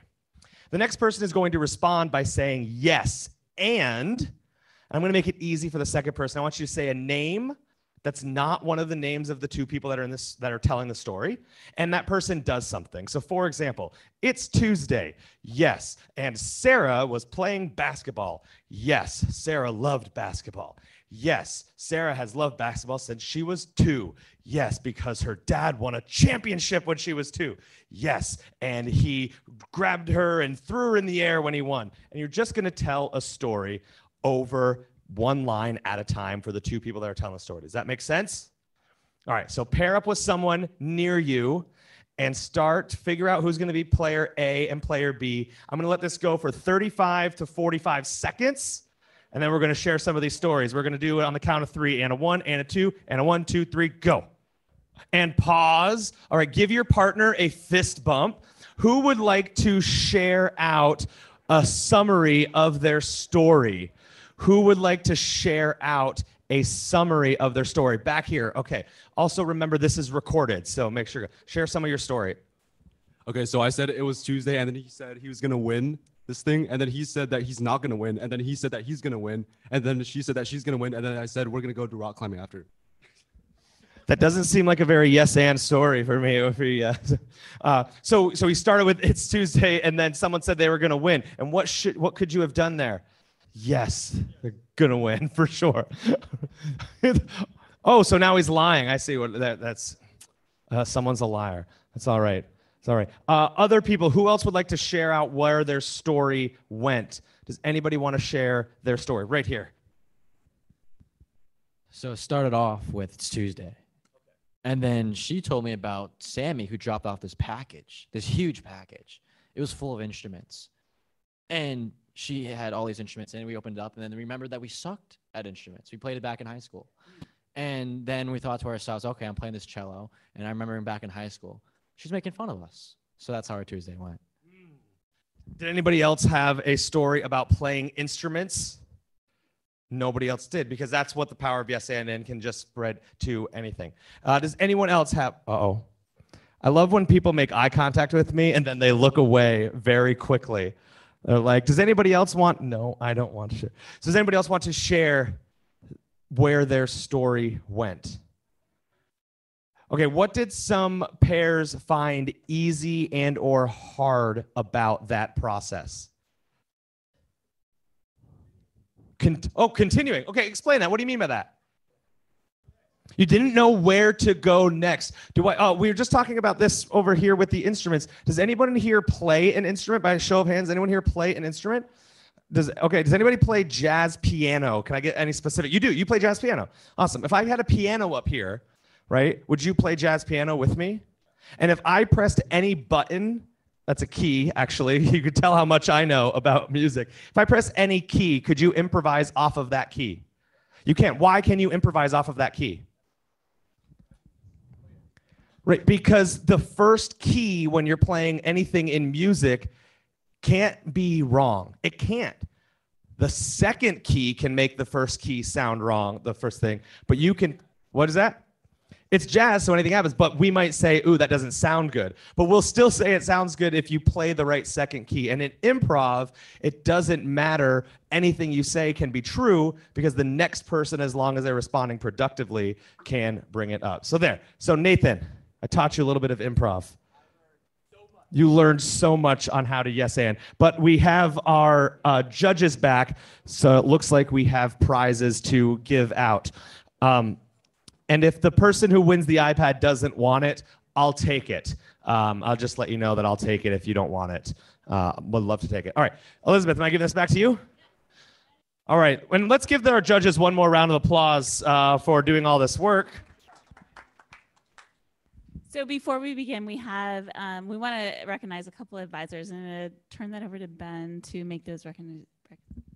Oh, sweet. Uh, so one of my jobs here is to help run the advisor network, which is engaging with some amazing and wonderful people who are just volunteering their time. I don't know why. Maybe they've made some terrible decisions. Maybe this is part of their mandatory public service. Who knows? But they keep coming back for more. And so I want to recognize two advisors that have done above and beyond. These are people that have come up here a number of times. They've spent hours and hours and hours working with our team specifically here. Um, and I'll say uh, it's been incredible. And I will say again, and I say to a lot of my emails to advisors, we cannot do this without you. We're a team of three. We have relative, our, our minds are finite, and the reason we have this network is because we can pull upon others. So, uh, the first person I would like to recognize today, um, the former director of the Happy Valley LaunchBox, Liz Kisenwether. Ladies and gentlemen, give a big round of applause to Liz. Get no, get on up here, Liz. Good lord. Yes. So what we've done is we've created a North Star Award. This is a new award that we started to give to advisors because we wanted some way to recognize how awesome they are. And we thought you needed more stuff in your life. So we gave you some stuff. So this is the North Star Award. It's it's it's presented. Go ahead. You can. You Okay. The North Star Award is presented to an individual who has gone above and beyond in mentoring our teams at the Happy Valley LaunchBox. This award is meant to recognize an entrepreneur in residence or advisor who has served as a guiding light, providing direction, insight, and mentorship. The North Star Award is bestowed upon only the raddest of individuals, those who have exceptional leadership, expertise, and dedication to our community and have helped our teams to navigate the challenges of entrepreneurship and finding success. You are the North Star. You are guiding our people. So here you go. Liz, thank you again for incredible service. Another round of applause for Liz. She's one of our favorites.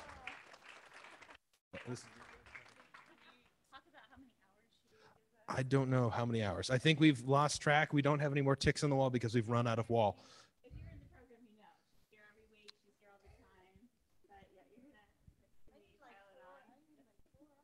Yeah.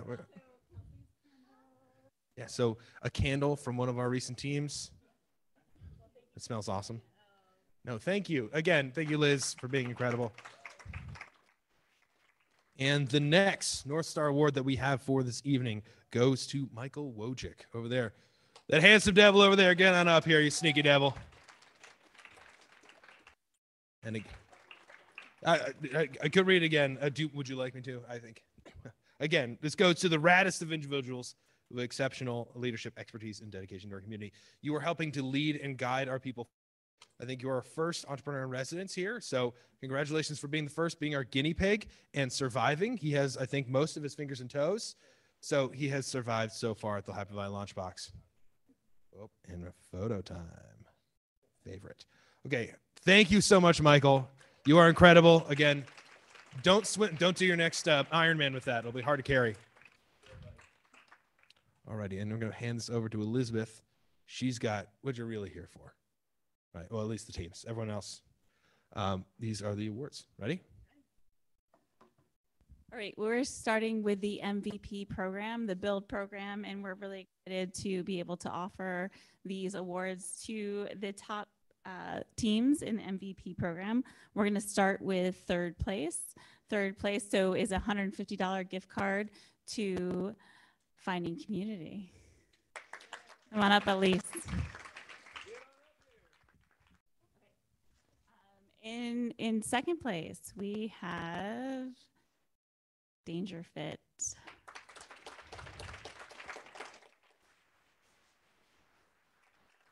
So again, MVP program, DangerFit has worked through a lot of stuff, and we're really proud to award this $250 gift card to DangerFit to Amazon. Thank you. hey, don't forget us.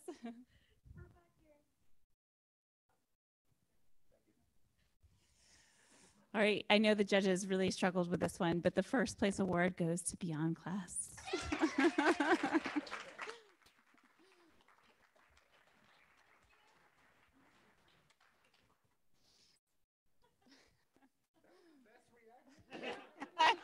give her, give her mad props for that reaction.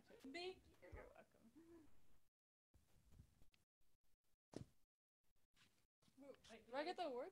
It's right there, bud. Oh, okay. you get the iPad. Everyone else gets their All right. Well, we didn't want anybody to leave empty-handed, so we have a couple more gift cards to give to the rest of the teams. Come on up, Becky. Come on up um, from POS, P- PCOS. Come on up, um, Sage Art, and Group It. Let's go. Come on up. Do a big group photo. Get out of here.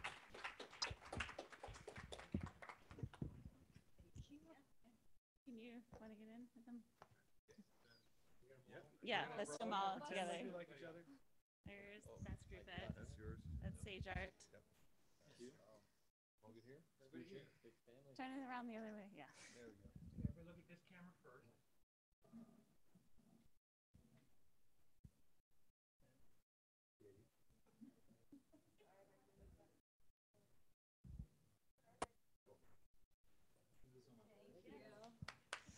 All right, great job, guys. So those gift cards are to Amazon, and we're going to announce in just a moment the accelerator programs. Um, but thank you to our sponsors tonight and all the people who have attended, our judges. Thank you so much for coming and your deliberation on these. Um, I know it was a tough, tough call. So um, we will start with second place. Yeah.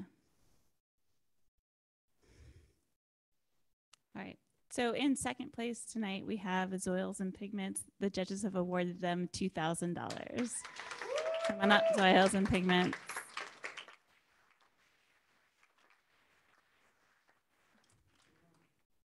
We've been working with them so much this semester. Great work, you guys. An amazing job pitching.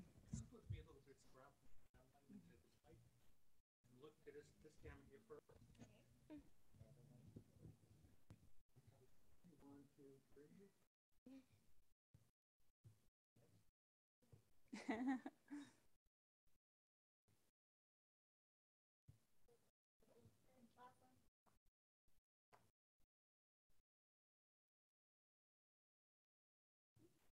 right.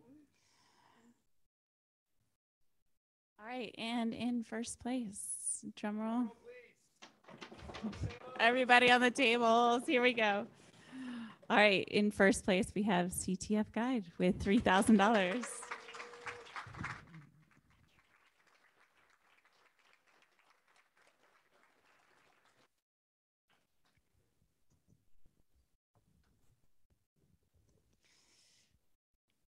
These guys came into our program like uh, super young and they've been working hard. Again, no one's leaving empty handed. So the rest of our teams will bring up, we have a $100 gift card for the rest of our team. We have Pitch Stacks, $100. We have Alum Lodge, $100 gift card. And Wave Breaker, $100 gift card. Everybody's worked so hard. I know the judges struggle with these This is, this has been a great competition. I want to thank everybody for coming out tonight and hanging out. And um, we have a lot of leftover food, so please hang out and eat some food. So thank you. Have a good night.